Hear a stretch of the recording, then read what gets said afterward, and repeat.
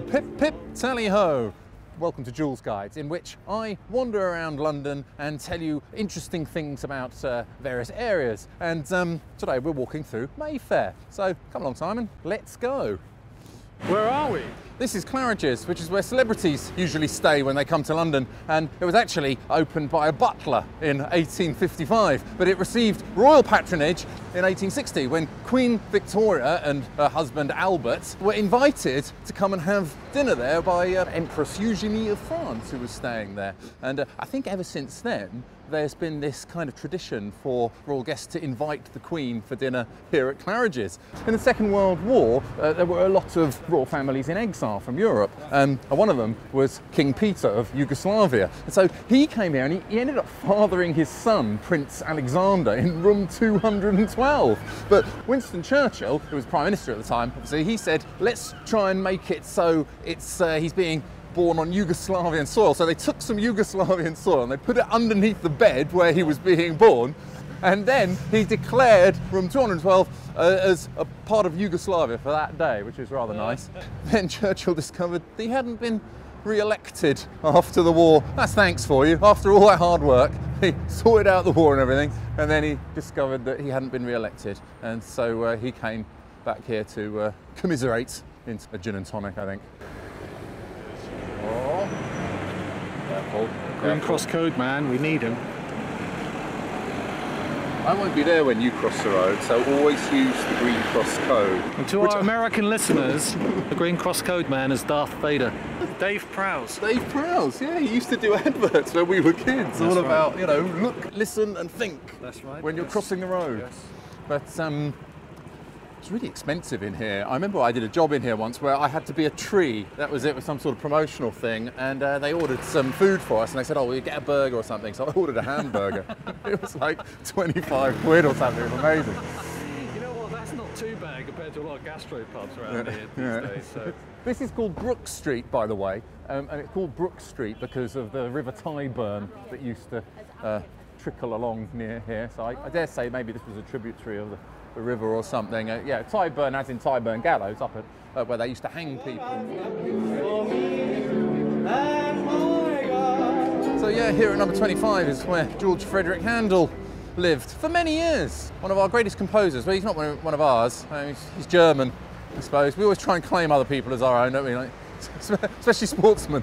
From 1685 to 1759, he even composed the famous Handel's Messiah here. You know Handel's Messiah? My goodness, Do, do you know one? Hallelujah, hallelujah, hallelujah. Oh man. The interior of the museum uh, has been preserved as, a, as an 18th century home, like, uh, just as he would have known it. And it's got all these harpsichords and things like that inside there. You know, authentic creaky staircase and just downstairs. Jimi Hendrix also lived there, and they've recreated the room so you can go in and you can see uh, Jimi Hendrix's bedroom just as it used to be. And It's amazing that it's Jimi Hendrix and not someone like, I don't know, Vanilla Ice or someone like that. well, another great musician like That's Vanilla what- Ice, you but, mean? Yeah. yeah, but it would, would have made such a lame story if it was like someone like that, you know. Well, I wouldn't have covered it, would I? if, if you want to make some sexy time, Simon, you can buy your kit here in Victoria's Secrets. It's where I generally go to buy my crutchless panties and things like that.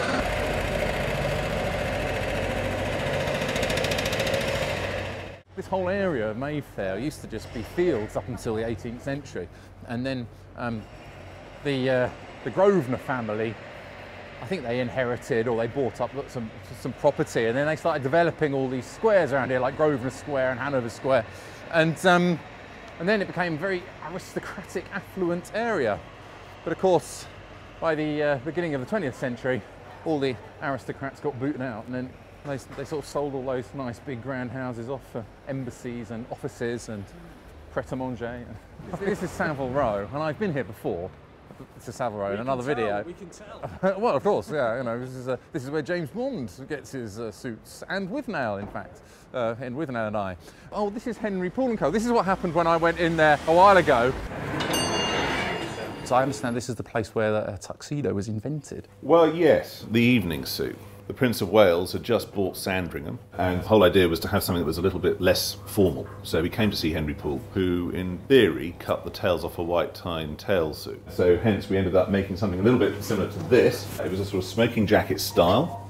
Uh, we did it in a midnight blue satin silk with matching trousers and that's really how the evening suit began and it sort of morphed more into the one which you normally get today. How did it get the name tuxedo then? Well, Prince of Wales had an American gentleman come to visit, James Potter, and knowing that he was off to see the Prince of Wales, he came in to see Henry Poole. And Henry said, We've only just made him this, so let me make one for you as well.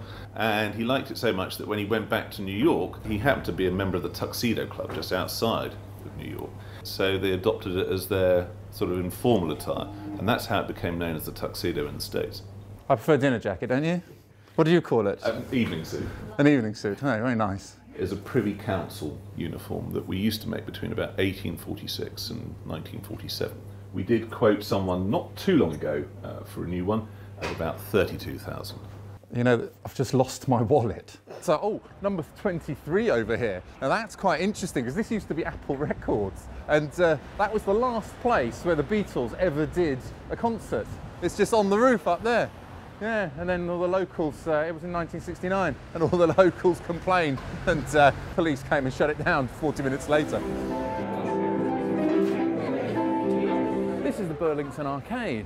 In 1819, Lord Cavendish inherited Burlington House, which was next door. I think he was tired of people throwing stuff over the wall into his garden, so he decided to create one of the first covered shopping arcades in the world. And in order to prevent his wife and friends from being molested whilst they're doing their shopping, he decided to hire like a mini police force from his old regiment, which was the 10th Hussars, to sort of turn them into these beadles, which you can still see here now. They constitute more or less the oldest police force in the world. No running, shouting, piddling in the shallow end, or whistling, or opening umbrellas. And the reason for that was a lot of the upstairs rooms here were occupied by prostitutes if the, they'd whistle, it would alert the pimps down here and the pickpockets of the fact that the beadles were arriving or the, uh, or the police. This whole area's got all these lovely arcades. I actually prefer the Piccadilly arcade in terms of what they've got for sale. No, you see now this sort of stuff, I, I, I actually buy this. I, in fact, I only, I only just bought a new cravat today. So actually, speaking of cravats, this fellow at the end, that's Beau Brummell. He, he invented the cravat, this guy, yeah. No, look, there he is wearing one. he invented the cravat.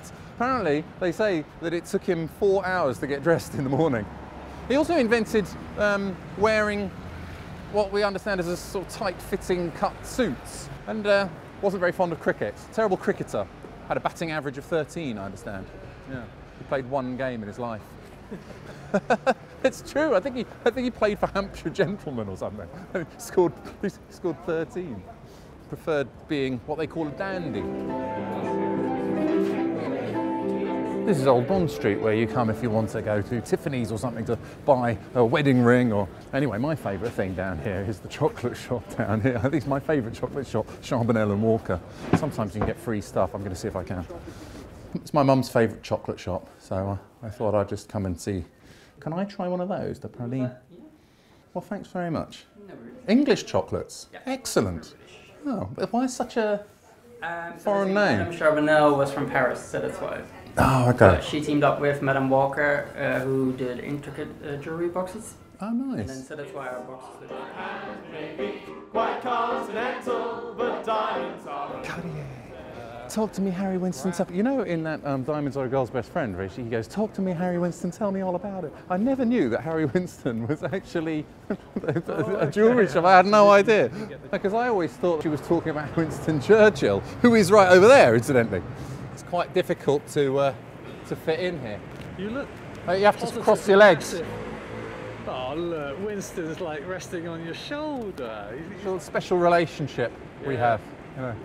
Pint at the punch bowl, I think, Simon, don't you? I agree indeed. Sounds good to me. There it is. It was bought in, in 2008. That was the, the pub that was bought by uh, Madonna and Guy Ritchie. Prince William and Harry used to go there, and uh, Leonardo DiCaprio, David Beckham, Robert Downey Jr. Eventually he sold it. Thanks for watching. If you've enjoyed my videos, please hit the subscribe button, tell your friends, have a look at my other videos on the Joolz Guides channel and indeed on my website, joolzguides.com, where you can contact me if you want a private guided tour of London. Um, or you can be my Patreon or even throw me a donation on PayPal if you like. Sally ho.